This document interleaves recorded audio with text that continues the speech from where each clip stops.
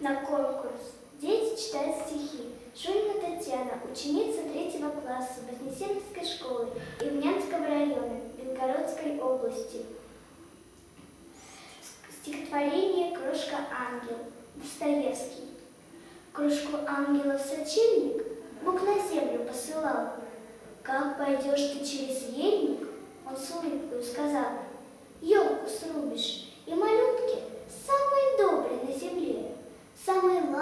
ласковой и чуткой, дай как память обо мне. И смутился ангел крошка, но кому же мне отдать? Как узнать, на ком из деток будет Божья благодать? Сам увидишь, Бог ответил, и небесный гость пошел.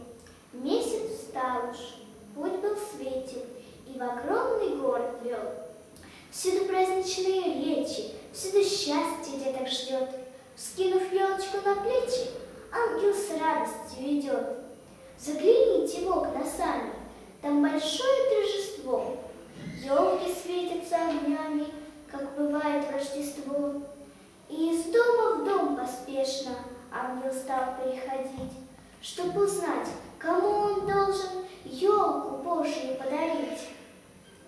И прекрасных, и послушных много видел он детей.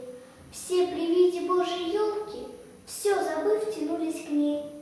Кто кричит «Я елки стою», кто корит за то его, не сравнишься ты со мною, я добрее твоего.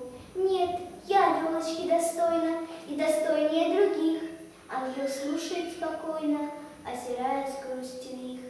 Все кичатся друг пред другом, каждый хвалит сам себя, на соперника с испугом или с завистью глядя. И на понурясь, ангел вышел. Боже мой, научи, кому бы мог я дар отдать бесценный твой.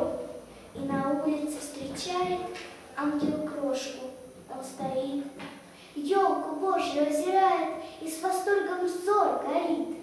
Елка, елочка, захлопал он в ладоши. Жаль, что я этой елки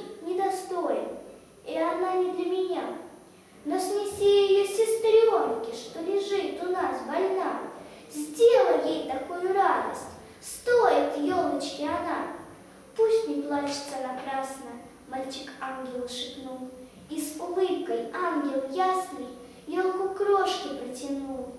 И тогда каким-то чудом с неба звезды сорвались, И, сверкая изумрудом, в ветви елочки впились.